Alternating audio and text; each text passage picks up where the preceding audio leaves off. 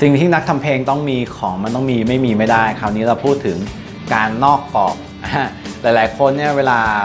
เรียนดนตรีมาแล้วนะครับเป็นนักดนตรีมาแล้ว ศึกษาทฤษฎีดนตรีมาแล้ว มานั่งทำเพลงเนี่ยหลาย ๆ คนจะคิดแล้วก็ติดอยู่กับตัวทฤษฎี จนมันอยู่แค่ในกรอบ มันไม่ออกไปไหน จนในสุดท้ายเนี่ยเพลงที่ออกมามันก็เลยเป็นเพลงแบบเดิม ๆ แล้วก็ไม่มีเอกลักษณ์ของเราเลยนะครับคนฟังจำไม่ได้ด้วยว่า คือสังเกตไม่ออกอะว่าเฮ้ยเพลงเนี้ยของคนนี้แต่งแน่ๆอะไรอย่างเงี้ยนะครับ มันจะกลายเป็นว่าเราไม่มีลายเซ็นในงานนะ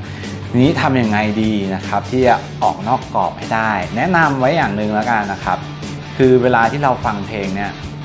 เราอย่ามัวแต่ไปสนว่าเฮ้ยเขาใช้โหมดอะไร เขาใช้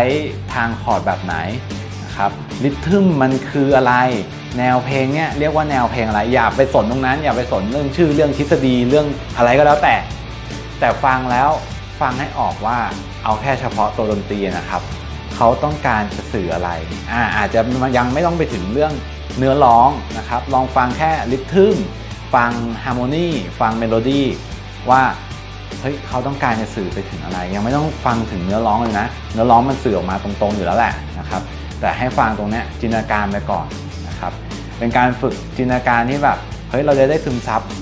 เรื่องราวของดนตรีที่มันเล่าออกมาด้วยนะครับ อย่างหนึ่งละกันที่ให้ลองแนะนำไปลองฝึกกันดูนะครับคราวหน้า